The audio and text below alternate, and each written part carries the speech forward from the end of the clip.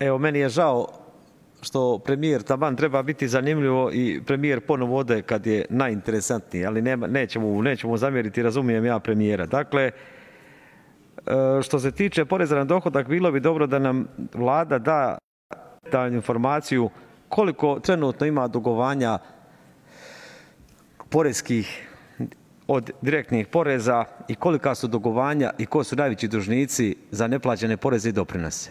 Drugo, što bi bilo zanimljivo, dakle ja ne zamjeram gospodinu Viškoviću kad spominjem njegovog sina, nisu ovo što je napravio u kontekstu da Bog da i njegov izvači sin bio milioner zapošljavao ljude. Nemam ništa protiv. Ali imam protiv kad se iza zakulisanih radnji sa članovima svoje porodice sklapaju štetni poslovi po državu.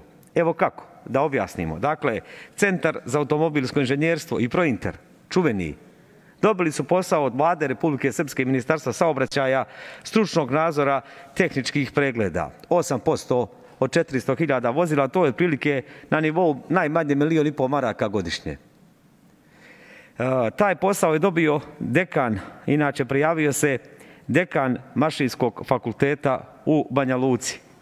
Inače, taj posao protekli 10 godina radi razvoja nastave i dobijanja prihoda radili su saobraćani fakultet u Doboju na kome predaje premijer Višković i mašinski fakultet iz Banja Luke na kome je dekan bio Darko Knežević, inače kum profesora Milašinovića koji je dobio posao. A taj Milašinović fiktivno se povukao, a kasnije je osnovao novu firmu Altro DOO koja se bavi tehničkim pregledima. Dakle, sam je u sukobu interesa. I suvlasnik 50% u tom poslu je sin premijera Viškovića. Dobro, hvala vam za to, ali možete nam sad reći kako je to vez ima sa porezom na dohodak? Dakle, pa interes je da li ta firma koja dobija... samo na- dakle, ako na vi ne vidite, ako vi ne vidite u tome ništa sporno, ko što niko ne vidi u ovoj slijepoj državi, najbitnije je da li sam ja rekao da je utekao pa da mi, ka, pa da mi oduzmete riječ. Ili da nekom kažem ti si korumpiran, pa da me on tuži i kaže nisam, ja sam čestit i uzmem 3000 maraka. To je vrlo lako dokazati. Ali dokazati vezu između premijera Viškovića, koji je profesor na saobraćajnom fakultetu u Doboju, i koji posle 10 godina ne učestvuje pod nekim čudnim okolnostima na tenderu, ne predaje. I dekana mašinskog fakulteta, koji je kum posla čoveka koji je dobio posao, a koji je prije njega bio dekan. I koji su sami učesnici skupa sa Prointerom. I dobio je države milion i pol. I vama tu nema ništa sporno. Aferi. Za mene ima samo sporno ako niste na tački dnevnog reda. Kao Dakle, zamislite, vas zamislite, jednu, zamislite jednu paralelu. Da premijerka Njemačke, Angela Merkel, svojom sinu ili čerci, da posao kao jedinom ponuđaču države vrijedan milion i po eura, u kojoj je njegov sin suvlasnik. A prije toga radio fakultet na kome je ona bila profesor. Znate koliko je posle toga bila ovaj, kancelar Njemačke? Ni 24 sata. Ali to je samo, meni je drago, ovo sam više zbog javnosti, to je sitno. Šta je za vas milijon i po? To je neki sitni posao, čisto da javnost zna. I naravno tu je Prointer gdje je sin od oca nacije samo konsultant. Sve je to samo plod slučajnosti.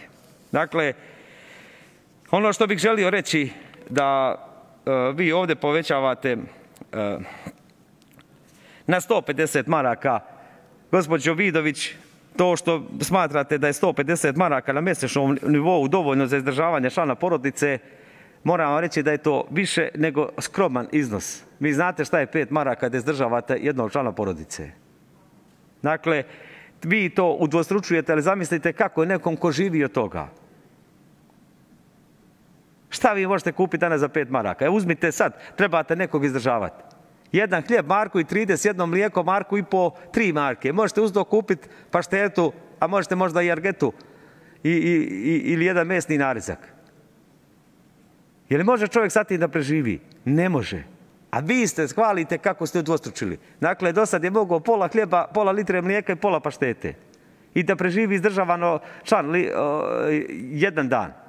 Mahajte vi glavom. Za vas su samo vi otiđite na Londonsku berzu. Nikad niste odgovorili kakva je uloga Igora Dodika i advokata iz Bijeljine, čuvenog Miloša Stefanovića za održenje na berzi. I ko je dobio procenatni nagrad za posao koji ste odradili? Mislite da se neće saznat? Pa vidite da znam svaki vaš korak unaprijed. Vodite računa šta radite. Kad tad će zaživjeti pravna država? Nemojte misliti da ćete nas, da će posmatrate prema ovom narodu kao prema brojevima, da ćete raditi nekaženo šta god hoćete. Pravda će biti osveta.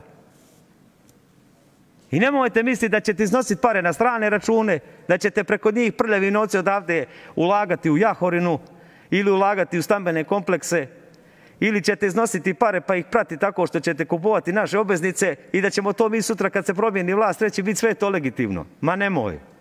Niste svjesni koliko ćete imati sajdera koji će biti svjedoci saradnici u vašem ministarstvu. Svega toga što radite. I zato vas na vrijeme vrlo dobro namjerno upozoravam. Radite ozbiljan posao. Biti ministar, posao ministra financija je isuviše ozbiljan posao. Kad ćemo mi u porez na dohodak ovdje 4,5% kamate i sad je plaćamo za Nikolu Teslu? Pojao Vuk Magarca. Je li Tegeltija garantovo da će se one obveznice, što, ne stade, što Tegeltija ne vrati 10 miliona? Ima odakle. Kort radi ko Singerica. Širi se ko epidemija. Gdje god odete u Srpskoj kort, kort, kort, kort. I gospodine Viškoviću, imam jednu preporuku. U dobri čas neke sasreće okrenula centrala pa kad se god napravi. Ali ako samo nemojte staviti za šefa skladišta ili u Tamindžiju, bit će cimente betona, orlu i gavranu. Jeste li čuli kako čovjek kupuje glas i ocjenjuje ljude u kancelariji preko firme Apis, preko hiljadu maraka? I čuti gospodin Tamindžija. A u svakoj normalnoj državi on ne bi bio danas sa nama ovdje u skupštini, nego bi bio u zatvoru. Dođe čovjek, snimio ga i svjedoči kako se izvlače pare za kupovinu javnih Gospodine za kupovinu glasova. Molim vas, gospodine Vukanoviću, da zaustavite se malo. Izričem vam opomenu zato što ste udali tačke dnevnog reda i pored upozorenja koje sam vam rekao. Izvolite, Dakle, nastavite. Puno je pitanja na koja će se odgovoriti. Ali nemojte misliti, završavam sa tim, gospodine Viškoviću, ako trenutno držite pod kontrolom sve sudije i tužioce i policiju, da ste za sva vremena amnestirani za zloupotrebe koje pravite. Budu u vlasti prođu, ovo govorim krajnje dobronamjerno, iskreno vam sad govorim. Meni vas je žao što vas često zloupotrebljavaju. Iako i vi volite malo uočiti prste u med.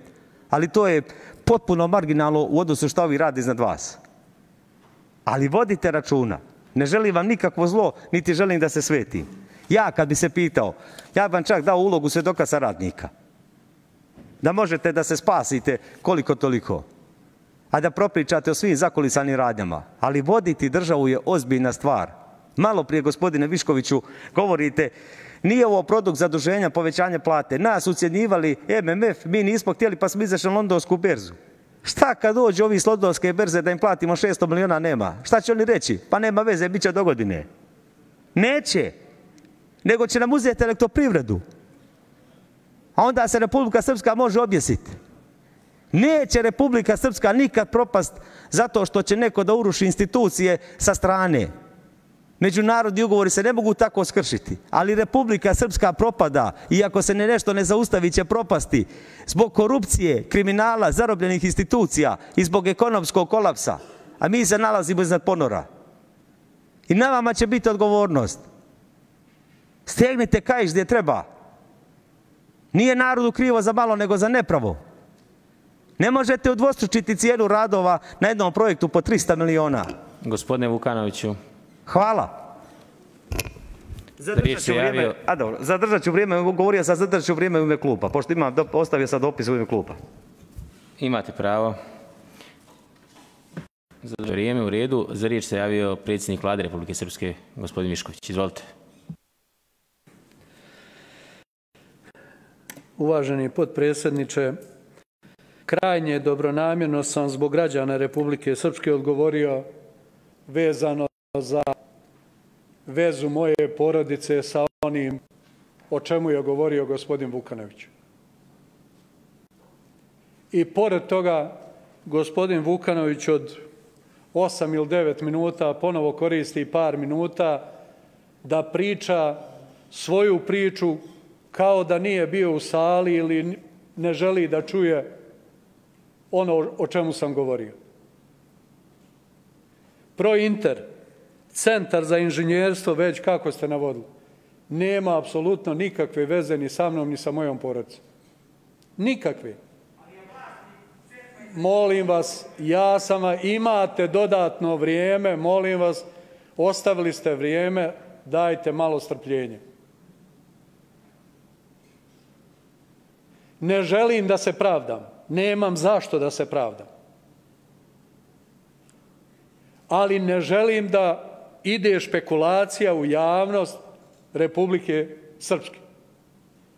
To, apsolutno što ste govorili, nije tačno. Iz jednog prostog razloga. Ama objavi, ko ti brani, objavi i ništa nemam problem sa tim šta ćeš ti objaviti. Samo objavi činjenice i objavi istinu. Nemoj objavljivati po znacima navoda laži i onda sutra da te zbog klevete ili bilo ko treba da tuži, pa kad izgubiš spor onda se ljutiš. Sve što je istina, ja se ne bojim suda javnosti. Ja odgovorno obavljam svoju funkciju i spreman sam da odgovaram za sve što sam nečasno uradio. Hvala vam na dobronamjernom komentaru vodi računa i pazi. Vodim računa i pazi. I šta još treba da radim?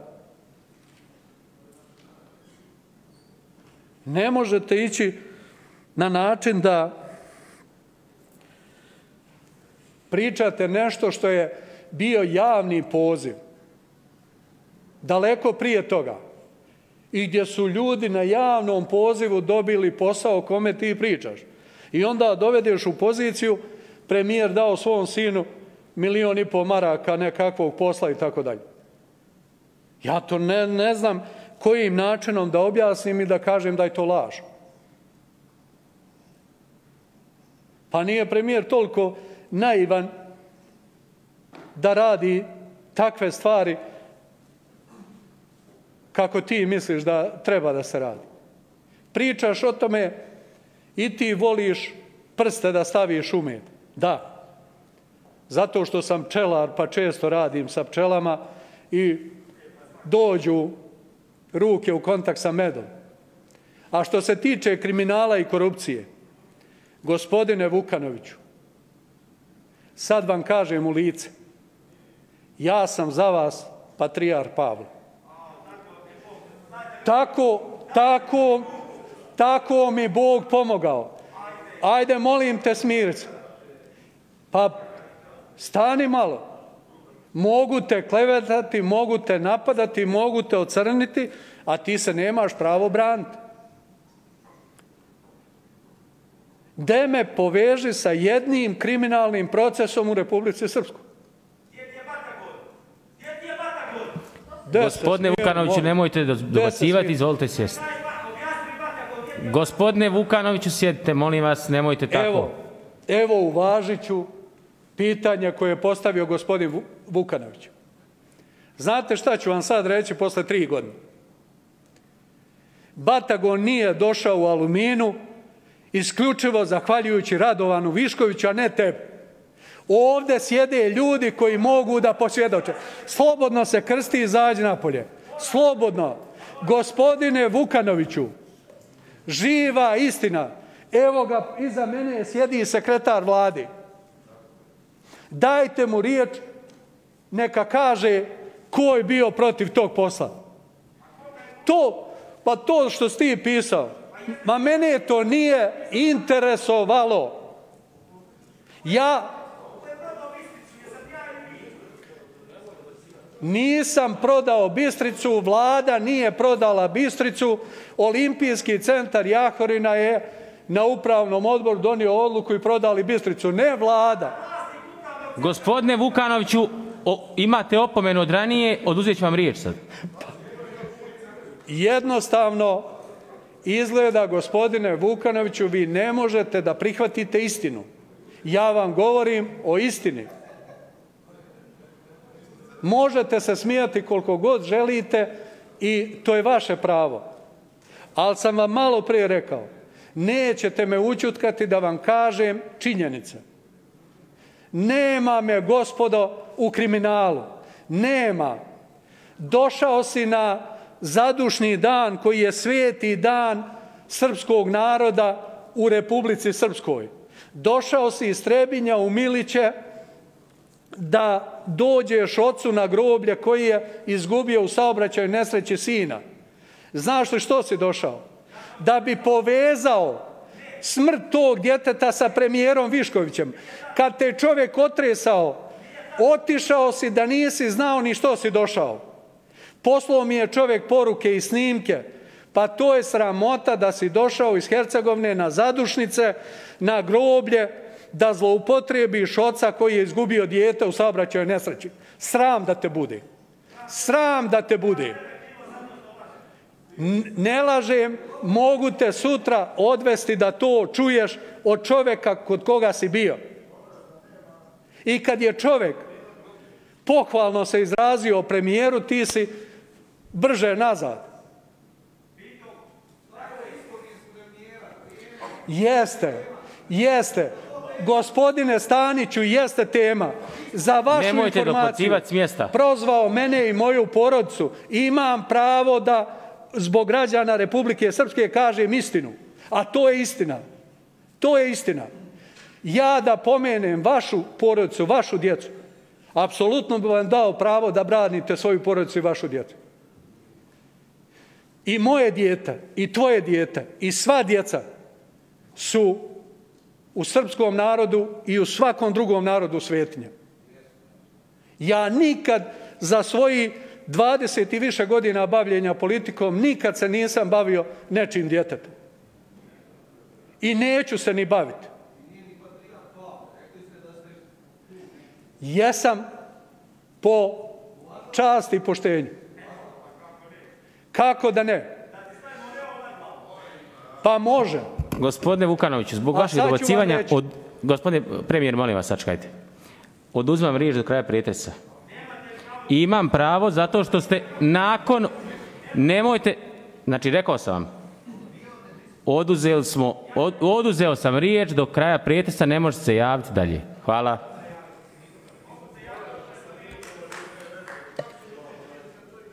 Neću, neću dalje govoriti. Imao sam još podpredsjedniče dosta stvari da kažem, ali koristit ću bonton. Neću zato što čovjek sad nema pravo da mi odgovori, ja ću se ovdje zaustaviti.